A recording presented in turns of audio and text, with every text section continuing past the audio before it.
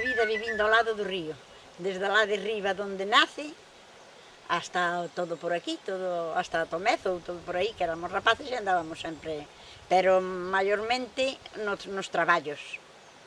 Sempre nos dou moitas facultades para beber, para lavarnos, porque andábamos a sejar na erva, a sacudir na erva, e facía un calor que non son estes calores da hora, moito calor. Entonces de vez en cuando viñamos ao río a, a lavar a cabeza e a lavar a cara.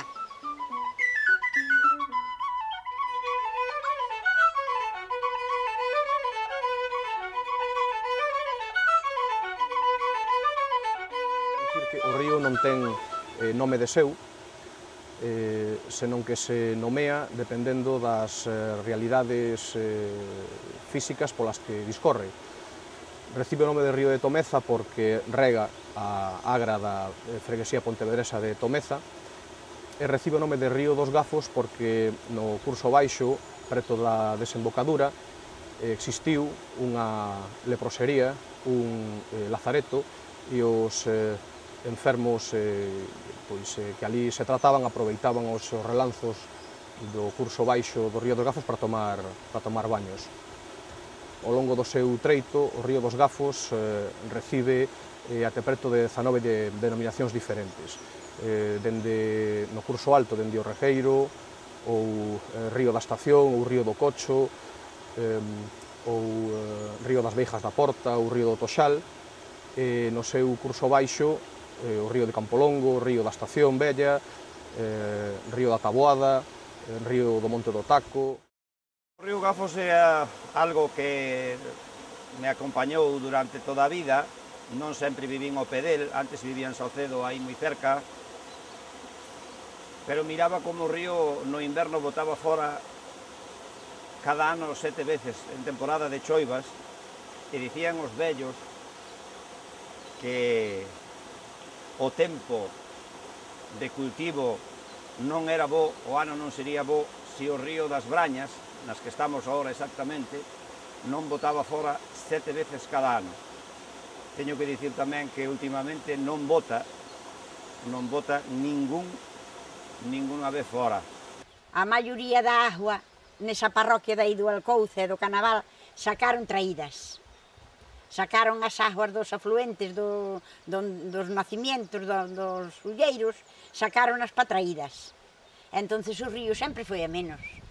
E ora, porque choveu esta temporada e medrou un pouquiño. Nada máis tuvo épocas de levar moi pouquiña agua.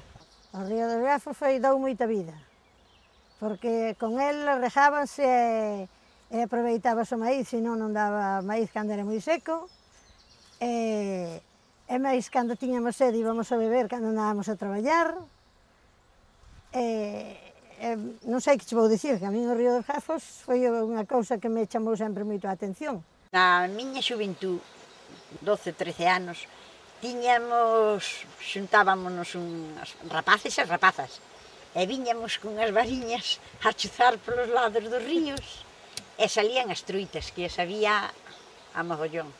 Alguns fuxidos,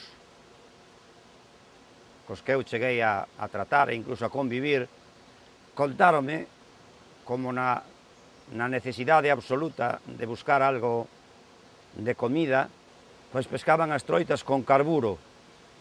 A operación consistía en poñerse un en aguas arriba, soltar as pedras e o polvo de carburo ao ancho do río, porque as troitas ao morrer viraban cara arriba cos barrigas e flotaban pola agua. E o outro simplemente recollía a colleita para poder logo, supoño que solo as alas no monte ou entre as árbores, ali onde eles estaban agochados, algún deles durante anos.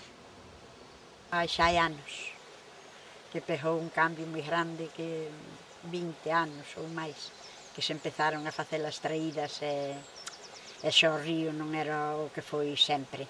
E despois a suciedade, que a xente non era consciente do que botaba para o río que era unha podridumbre e botaba para o río toda a porquería todo animales mortos botaban de toda a porquería canta había o río que se cansou. O río quedou absolutamente, o río e os montes, evidentemente, quedou completamente abandonado. E as xentes da rente do río, os ribeireños, chegaron a considerar o río como un depósito do lixo. Todo aquelo que sobraba nas casas que había que tirar levábase ao río non se tiña conciencia de que se facía daño realmente.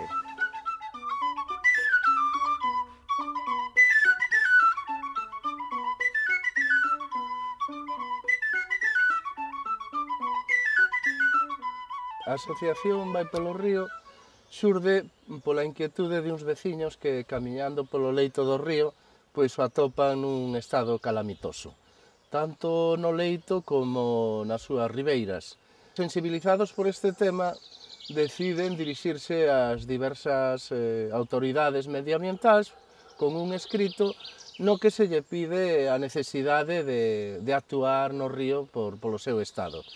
As eh, autoridades medioambientais non dan resposta e entón decídese actuar.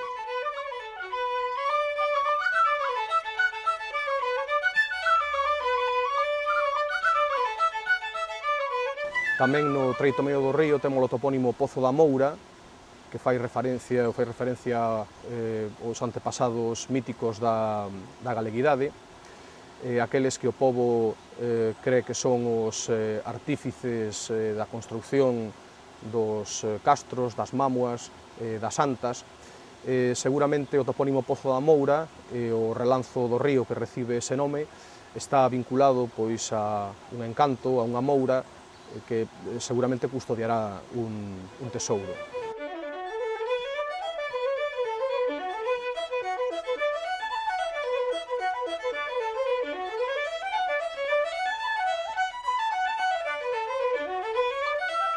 A natureza para min é un campo que nunca se acaba de coñecer plenamente e esta é a gran maravilla. Polo tanto, aquí hai traballo e actividades de abondo. Entón é preciso pois ter eh, coñecementos e sempre para iso pois temos a suerte desinteresada de verdadeiros técnicos.